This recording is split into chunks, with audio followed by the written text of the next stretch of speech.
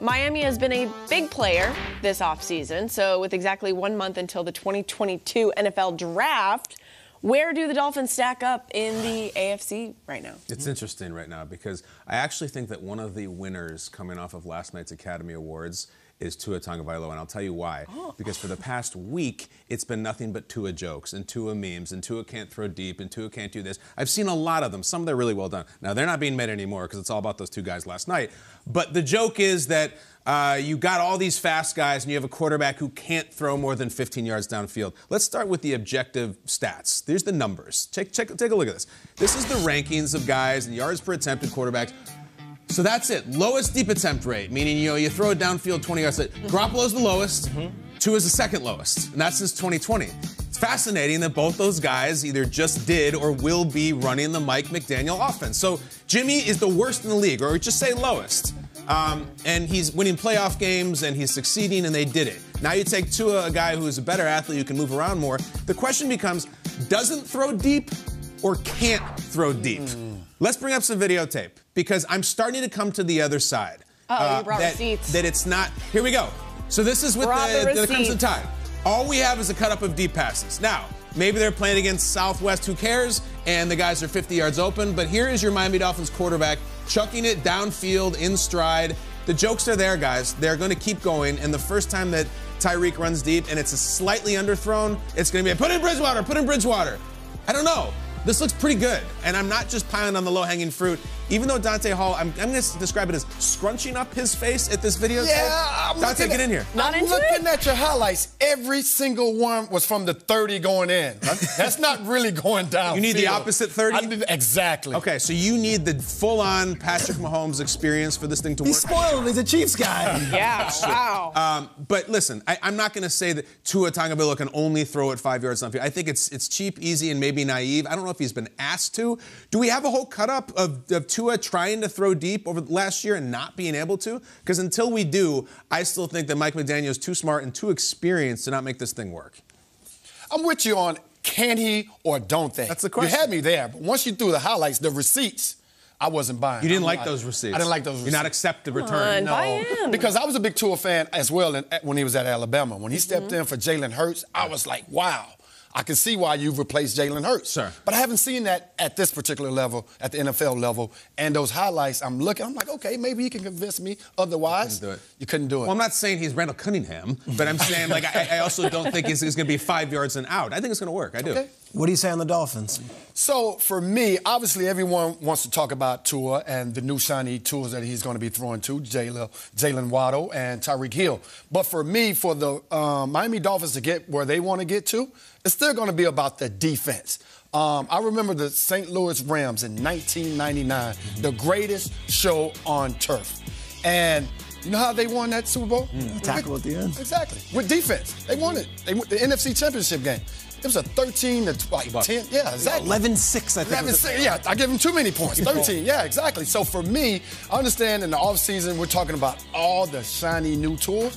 But for me, can that defense remain as potent as it was last year under Brian Flores? And yes, we're going to talk Tyreek Hill and mm-hmm. all of that. But mm-hmm. I think it's going to be mm. um, about the defense if Miami wants to get to where they want to go. Yeah, and I spoke to Mike for a while when he first got the job, McDaniel, who you saw talking, and he said, you know, we're going to try to bring back the defensive coordinator, Josh Boyer, who he had no relationship with. But he's like, the defense is good. I'm not messing with the defense. Mm-hmm. Thought that was a really interesting move to not be like, I'm bringing in my guys, and we're going to. Re-. It's like, no, their defense was really good last year. We're going to keep their defensive coordinator, and we're going to build around that, which is what they've done. Um, gosh, they've got a lot of weapons. They do. And I look at this list of just the wide receivers that are mm. currently on the roster, and it's like, all right, the, that, that, like Cedric Wilson was good last year. Cowboys, he stepped in number one. He was good. You look at DeVante Parker, what he's done. He's already made a huge contract in this league. I would ignore the numbers for DeVante Parker and remember that two years ago, three years ago, he was one of the top 10 guys in the league, and now you've got, well, and I think it does come down to not only Tua, but comes down to this coach. And, you know, we watch him again. Like I find it catnip almost, like watching him speak. He's got this weird cadence. It is he, very soothing. The words. He's using the word multitude and vast, and he's talking about building a house. And there's analogies. And when I was at the combine with him, I mean, that's going to be stuff that's going to follow my career forever because of how quirky our interview was and how funny he was. And yet, I feel like this guy could be a mad genius when it comes Hmm. to unlocking things and going through his career. And I've said this before on this show. Now, he wasn't the only coach on the staff because in a lot of cases, Kyle Shanahan was there and Matt LaFleur was there, but Robert Griffin III comes in as a rookie. They built the offense around him. He wins NFL Offensive Rookie of the Year over Andrew Luck. Uh, they, they go to Atlanta. Matt Ryan has always been a good quarterback. They win an MVP together. And Mike McDaniel's very prominent in that in that coaching room. And then Jimmy Garoppolo, who has limitations physically, they still find a way to get the very most out of Jimmy. What he said at the combine to me was, "We believe Tua has untapped potential, mm-hmm. untapped potential." And every quarterback, going back to Matt Schaub, going back to Nick Mullens, whoever you want, that Mike McDaniel has worked with, they have unleashed that potential, and they've had their best years of their career with him. So. To your point, I don't know if Tua can throw the ball 50 yards, but I do know we're going to get the best version of Tua love that. under Mike McDaniel. Can we ask you, Peter? You were away last week. You're, you were what do they call it? Strawberry fields. You were drinking. That's at what I was drinking. Okay, muddled with strawberry. Good for you. Muddled, yes. We didn't uh, get the pleasure of your Tyreek reaction. What, what's your take on Tyreek to the Dolphins? shocked. I was shocked. shocked. I was shocked. I, I did. I. I am actually really fascinated to see how they use him differently than Kansas City because Patrick Mahomes' arm is so lethal and uh-huh. is so big, and so much of what they did was using Tyreek in the deep game.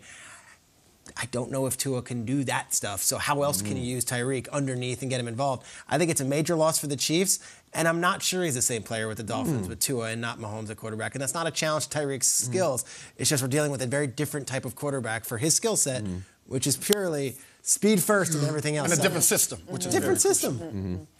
I want to buy into the Dolphins this year. I want to buy into Tua. I love this guy so much. He's so well spoken. You really want to root for him. And I love what you said, Schrags, about Mike McDaniel coming in and him being just the guy that could take him to this next level. We've been talking about the Oscars all day.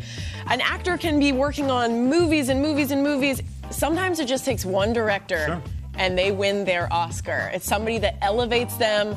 I'm buying in this year. This could be the match made into a heaven. We've been waiting for him to go off, okay? And he's not shown up. He did. We saw earlier he did spectacularly in college, and we've been waiting for that Tua to show up. And he's been under a lot of pressure, and I think this year he's going to be under the most pressure that he has been under. Mm-hmm. Last year it was, are they going to trade him for Deshaun Watson? What's going on there?